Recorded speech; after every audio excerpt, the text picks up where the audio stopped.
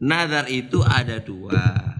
Ada nazar muqabalah, ada nazar mutlak. Mafhum lelah.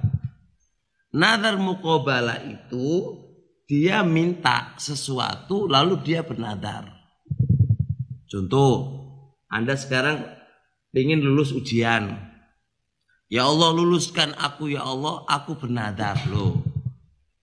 Aku bernadar ya Allah, aku bernadar untuk kurban ya Allah jika engkau luluskan ujianku ya Allah. Ini ini apa? Ini namanya makro model kayak gini ini. Dia beribadah kepada Allah jalur imbalan senang Allah. Kalau Allah nggak ngasih imbalan, dia nggak mau kurban. Ya. Ini makruh. Karena nadar yang bentuknya mukobala kayak gini ini nggak akan keluar kecuali dari orang yang bak bakhil. Innama yukhraju minal bakhili. Biasa keluar itu dari orang yang bakhil.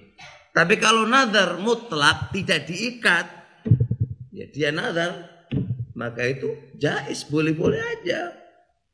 Boleh-boleh aja. Bukan karena bakhil. Kalau bakhil itu minta opah minta imbalan itu namanya bakhil. Kalau dia nggak minta imbalan maka itu hukumnya boleh jais. Atau anda sakit sekarang sakit.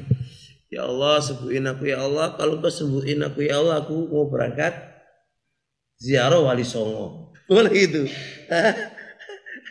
nah ternyata nggak tepat ya. Man nadhara ayyuti Allah fal yuti'u. Faman nadhara ayasi Allah fala yasi. Siapa yang bernadar untuk taat kepada Allah maka taatilah. Kalau nadarnya maksiat gak boleh di, ditaati.